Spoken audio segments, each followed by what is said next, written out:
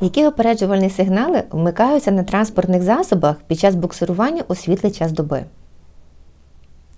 І Якщо сталася така ситуація, де необхідно відбуксирувати транспортний засіб, оскільки в нього є технічні несправності, автомобіль, який буде здійснювати буксирування, має вімкнути ближній світлофар.